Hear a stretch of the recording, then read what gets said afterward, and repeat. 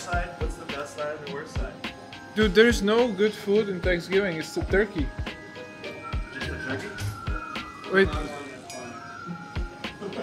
Yeah, like. is this supposed to be celebration of Thanksgiving? I don't like the food. I like the football games though. Squares. I like the squares. Best side, stuffing. Worst side, cranberry sauce. Uh, we gotta get some straight here first. This is the fake Thanksgiving. Canadian is the real Thanksgiving. The best side is uh, stuffing, and the worst side is candied yams. Best side is stuffing. Worst side is sweet potatoes. Green bean casserole. By far the best. Cranberry sauce.